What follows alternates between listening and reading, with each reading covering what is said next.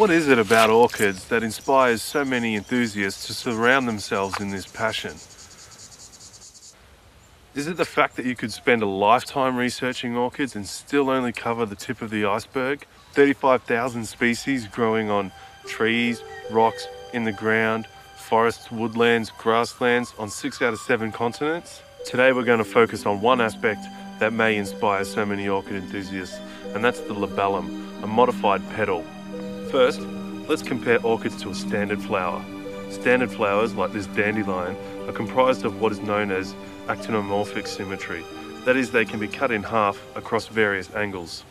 Orchids, however, are what's known as zygomorphic and can only be cut in half along one angle, as the sun orchid demonstrates. Going back to the dandelion, we see the basic parts of it. The sepals, which protect the flower when in bud, the bright yellow petals, which attract bees, and then the wispy bits in the middle that are the male and the female reproductive organs. Back to the sun orchid, we see all the same features as the dandelion, just in a highly specialised form, existing in a particular environmental niche. The sepals still protect the flower, the petals attract the pollinator to the singular reproductive organ in the centre, known as a column.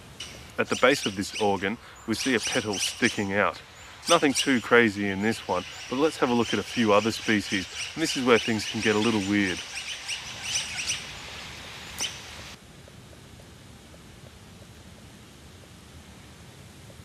Here, a rusty greenhood labellum imitates its pollinator, a gnat, a small insect which will come and try to mate with this petal, triggering a reaction which flicks it up into the hood, sending the insect into a frenzy, pollinating the orchid before it leaves empty-handed.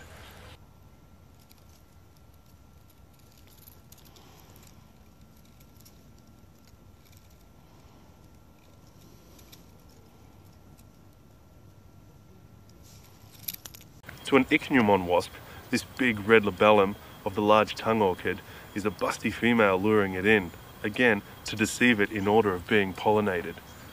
This elbow orchid has decided to grow upside down.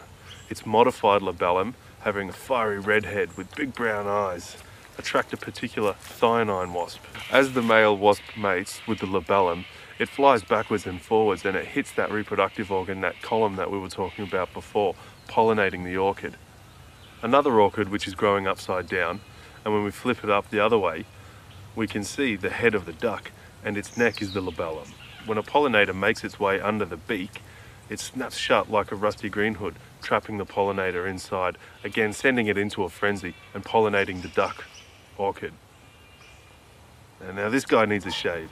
Bearded orchids have a hairy labellum. I'm unsure of the purpose. Some bearded orchids are self-pollinated and others require a wasp. Either way, they add to the inspiration of orchids and the curiosity of the labellum.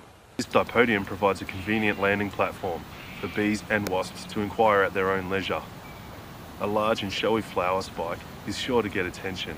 Different species may have stripes or dots along the labellum with these silica hairs that we see at the front. Bird orchids have what is known as calli on the labellum, glands designed to attract a male thynnine wasp. Considering all these orchids seem to take advantage of male wasps, I wonder how this affects the females and their ability to attain a long-lasting, healthy relationship.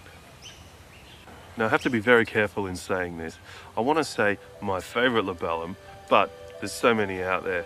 So some very inspiring labellums can be found in the Arachnorchis genus, or the spider orchids. Contrasting colours, exaggerated margins and sharp calli are very appealing. There are a number of different types of spider orchids, each with different characteristics. Some having a hinged labellum, which can vibrate in the wind. Perhaps this helps, again, to attract a specific pollinator, which will try to mate with it.